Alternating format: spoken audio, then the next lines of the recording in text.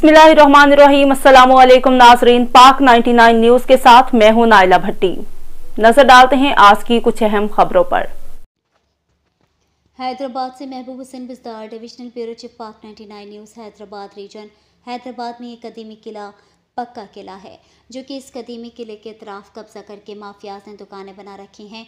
वो H D की sewerage की लाइन के ऊपर इन कब्जे की दुकानों की वजह से आए दिन सेवरेज की लाइनें ब्लॉक हो जाती हैं और पूरे पक्के किले की चढ़ाई समेत नीचे के मेन रोड के अतराफ सेवरेज का पानी जमा हो जाता है और सड़कें टूट फूट का शिकार हो जाती हैं और मेन शरा ट्रैफ़िक के गुजरने के लिए मुश्किल पैदा कर देते हैं।